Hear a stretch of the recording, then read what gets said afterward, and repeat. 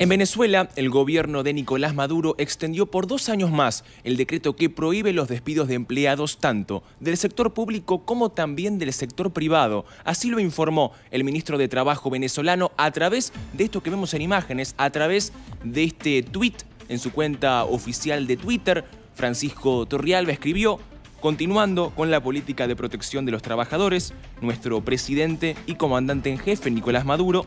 ordenó prorrogar la inamovilidad laboral hasta el 31 de diciembre de 2024. Esta extensión empezará a contar a partir del 1 de enero del año que viene, del 2023, con el fin de proteger el derecho al trabajo. Los trabajadores amparados por el presente decreto no podrán ser despedidos, desmejorados o trasladados sin justa causa calificada previamente por el inspector del trabajo de la jurisdicción, reza este escrito del ministro de Trabajo, Venezuela cuenta actualmente con una ley de trabajo que establece el pago doble en caso de despidos injustificados y el cálculo de las prestaciones con base en el último salario.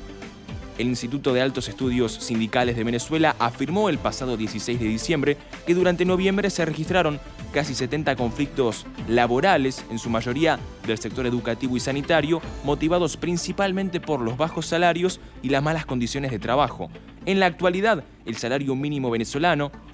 según la norma en la administración pública, es de 130 bolívares, unos 7,7 dólares al cambio oficial. En sintonía con esta información, el ministro de Trabajo de Venezuela, a través de este comunicado en Twitter, informó que se extiende esta ley de trabajo, esta prohibición para despedir a los empleados del sector público y privado por los próximos dos años hasta el 31 de diciembre de 2024.